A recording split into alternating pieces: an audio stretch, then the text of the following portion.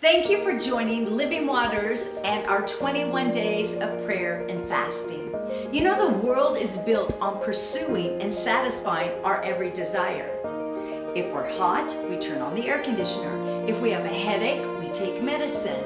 If we're hungry, we eat. But depriving ourselves goes against every natural tendency. There is a connection with what we do prayerfully physically and what God releases spiritually.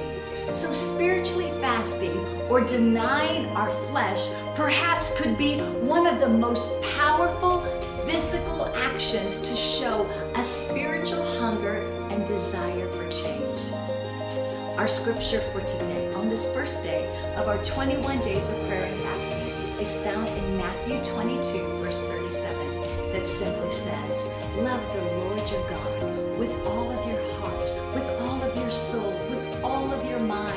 This is the first and greatest command.